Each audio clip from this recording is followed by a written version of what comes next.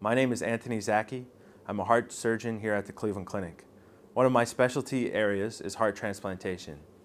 Today my goal is to give you, the patient, an overview of what a heart transplant is and the general operating procedure. The first thing to know if you're a patient with heart failure is that for the most part your condition can be managed with medications, procedures, or what we consider conventional cardiac surgery. However, if you're one of the patients that progresses to advanced end-stage heart failure, a heart transplant may be a great option for you. The first part of the procedure is determining if you are an eligible candidate. We have certain national criteria to determine if you are a transplant candidate. So you'll meet with a heart failure cardiologist, a transplant coordinator, a social worker, and one of the heart transplant surgeons, like myself, to determine if you are a good candidate for the procedure and if heart transplant is in your best interest. Now, as a committee, we meet and we discuss your case and we determine if you are a good candidate for the procedure and what status to give you. There are six statuses that we assign patients. Status one is the highest priority. Those are our sickest patients that cannot wait much time before they receive a heart transplant. Now, our lowest status patients are status six. So once you're determined to be a good candidate, you're given your status and put on the waiting list, the next part is to wait for an appropriate organ. When appropriate organ becomes available, it is matched to you based on blood type, based on size, and other immune characteristics to prevent your body from rejecting the new organ. Our procurement team is sent out and they go and evaluate the heart and confirm that it's in good working condition that there are no abnormalities, and that is appropriate for transplantation. Here on our end in Cleveland, you're brought into the hospital, you are prepared for the operating room, and you wait for the heart to come. When the procurement surgeon takes the heart out of the donor, the heart can be preserved out of the body for up to four to six hours. We have several ways of preserving a heart. The classic way was in a cold solution in a, um, an ice box.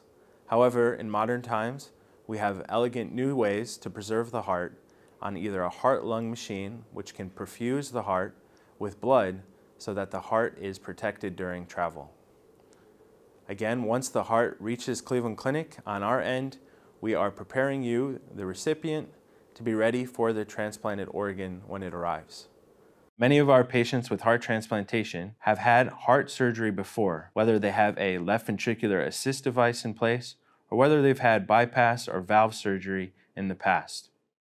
So depending on your surgical history, the first part of the procedure is carefully entering the chest and exposing the heart. The next step is to support your body's circulation with the heart-lung machine. Once the donor heart is almost back to Cleveland, we begin by removing the old diseased heart. The heart is removed in a very specific way, preserving the five major connections that we will redo when the new heart becomes available. If an LVAD device is present, the LVAD is deactivated and removed fully. Once the heart has been fully removed, there are five major connections that we, the transplant surgeons, will redo when the new heart becomes available. For the short period that the heart is not in the body, your circulation and all of your body organs are being supported 100% by the heart-lung machine. When the heart arrives, we begin implanting the new heart in a specific order. In general, we start with the connections that are furthest in the back and move from back to front. We use long suture to connect first the left atrium of the donor heart to the left atrial cuff in the back of the chest. After this, the remaining four connections are done in a similar manner using suture. Once we finish all five connections, an aortic cross clamp is removed and blood flow is restored to the new heart. The new heart will beat spontaneously on its own as soon as blood is restored. Sometimes we have to add an electrical stimulation to give the heart a jump start. Once the five connections are done, we evaluate the heart and slowly wean or remove the heart-lung machine to see the heart beating on its own. We check for bleeding, we leave chest drains, and then close your chest and you are sent into the ICU for closely monitored care. After your heart transplant surgery, you'll spend a few days in our intensive care unit with our highly specialized transplant team. You'll be started on anti rejection medications and be closely monitored.